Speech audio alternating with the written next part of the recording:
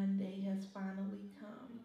I don't know if I could adequately express the joy that I feel in my heart to walk through these doors and see your face at the end of the aisle. You are the man that I prayed for for so many years. You are the one that I adore. I am so confident in our love because I know that Christ is at the center. Thank you for becoming my soulmate. Thank you for choosing me today. I'll love you always. Love, Crystal.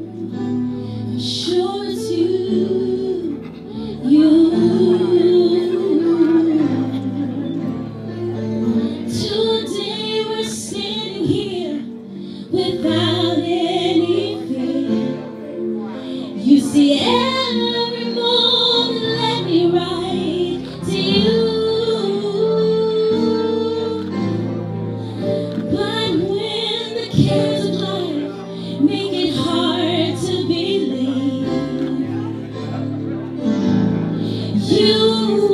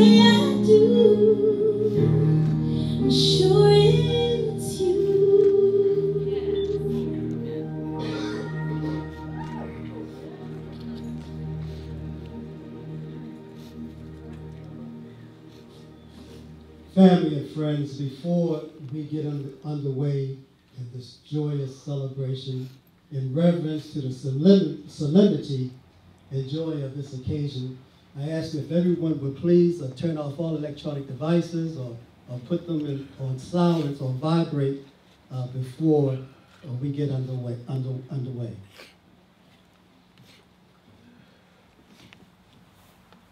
Beloved family and friends, we are gathered together on this joyous occasion. People, Crystal and Brian, as they are joined together in the bonds of marriage. There is no human experience as high, as holy, or as beautifully rewarding as that which exists between a Christian man and woman in the bonds of marriage. Marriage is one of three carryovers from the Garden of Eden. The Sabbath day of rest for the body, mind, and soul, and the dignity of labor are the other two. Thus, marriage is an experience that God intended to bear the primeval blessings of Eden upon it. Crystal and Brian already share in holy matrimony, the light of God in their lives will be fused into one light, and the music in their hearts will be blended into a symphony of one love.